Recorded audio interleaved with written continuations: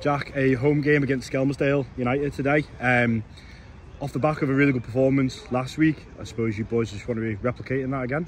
Yeah, um, it's just all about keeping um, uh, positive mentality and the momentum going, really.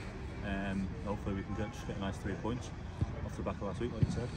And obviously, you've sort of come back in in the last few weeks. Um, Jonesy sort of played like a 3 5 3, which has been, I think, beneficial for you because you're it's easy for you to get on the ball and dictate play, and you've still got two centre halves next year. Has that been benefit for Um, you personally? Yeah, I mean, he makes them decisions, I think, based off how we want to play against the opposition and how they're going to line up.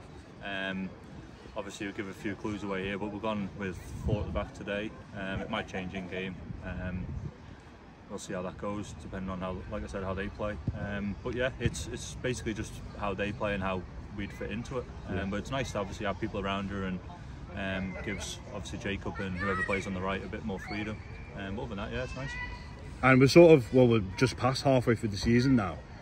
What would you sort of assess, you know, the first half of the season, how it's gone, and maybe going into the second half of the season where you want to be?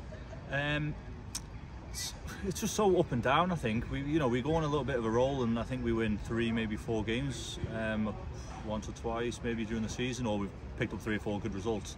Um, but then we just lose five, six on the bounce. It's just trying to extinguish them um, mistakes throughout the season, um, and then trying to yeah get the good results and keep, like I say, keep momentum going. It's massive in this league.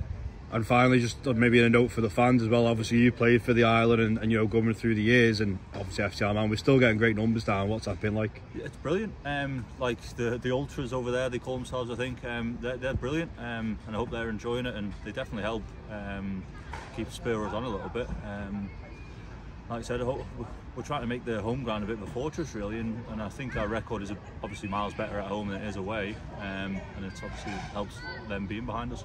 Good luck all the best today. Yeah, cheers, thank you.